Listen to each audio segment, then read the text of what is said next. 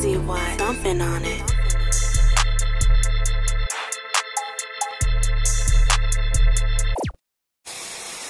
If you are not currently working to stop 5G, this means you don't understand it. While protesters rail against 5G's spread, a greater threat is looming a global technology war. The race to 5G is a race America must win. It's a race that we will win. The protesters here are worried that radio signals from 5G towers could be damaging to their health. I don't want to be a human lab rat, you know, because that's what's happened. That they're just using us to see if it can, if it's going to be okay. And if we die, well, we've got so many of us. Yeah, because I'm worried about our kids, the future. The it's not proved yet the 5G is safe enough. If you wanted to inflame conspiracy theorists, building a modern Stonehenge that acts as an astronomical calendar with 10 commandments inscribed upon it, one of which says that you should guide reproduction wisely, and another that says it'd be a, a really good idea to have a world population under 10% of what it currently is, and, and doing all that while hiding your identity. I think for Telstra to roll out the, the installation of 5G during a pandemic in Mullumbimby, um, you know, it was, it was it, I'm sure they thought they were very clever doing that, but um, I think it was a really bad move, and I think it really played into people's paranoia around this, and you know, into the conspiracy theory, and that you know this is all a, a move to you know to institute a technology that that um, is potentially harmful.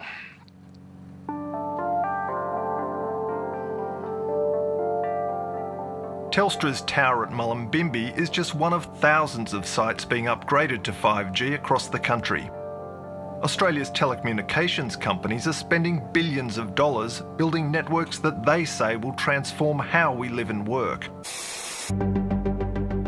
5G promises a future where everything is high speed and interconnected. From autonomous vehicles to fight bushfires, to hyper efficient agriculture and remote surgery. Just imagine a paramedic with the 5G technology. You could, for example, have the paramedic using a pair of, um, you know, augmented reality glasses.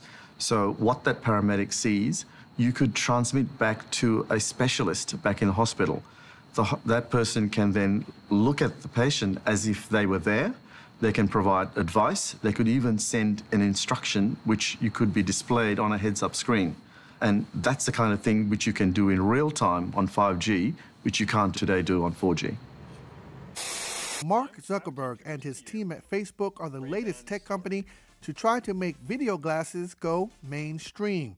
The social media giant Thursday unveiled what it calls Ray-Ban Stories, its first pair of smart glasses, which allows wearers to capture photos and short videos of course, to easily post on Facebook, Instagram, and WhatsApp. Ray-Ban stories are an important step towards a future when phones are no longer a central part of our lives, and you won't have to choose between interacting with a device or interacting with the world around you.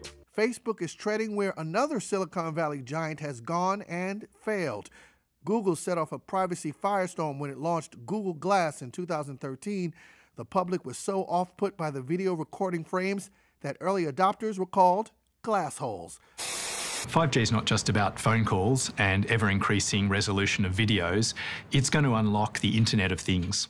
And this is where machines start talking to machines. And this is going to allow a whole revolution in the way we, we live and organise ourselves, in the way we, we live and organise ourselves, in the way we, we live and organise ourselves. For example, the smart city we can start coordinating traffic flow, which is going to have safety benefits, is going to have emission benefits, and beyond traffic is going to be coordinating air conditioning in buildings, coordinating lighting in buildings, uh, all sorts of things when machines start sensing the environment and actions can be taken.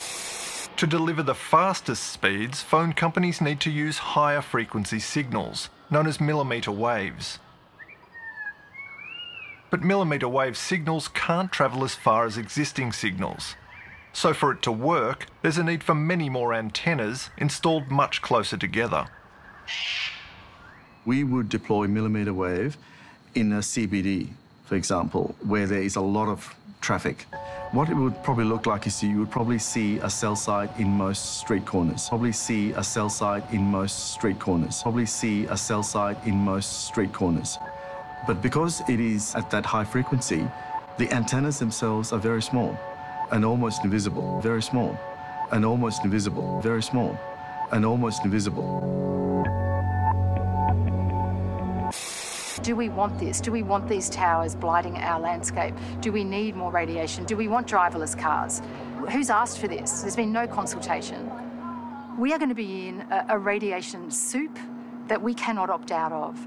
So at the moment, we have choices. Once uh, 5G is, is implemented, we no longer have any choice. We are in a soup of radiation that we cannot escape. Doctors first wrote about what they called radiophobia as early as 1903 to describe people who were afraid of radio speakers. Yet anxieties about power lines have... In the 80s, it was the radiation emitted by power lines. They're invisible and just about everywhere. Do we play Russian roulette with people's children? Should you be taking steps to keep your kids away from electromagnetic fields? Microwave cooking units, like those in the NASA Lunar Receiving Laboratory.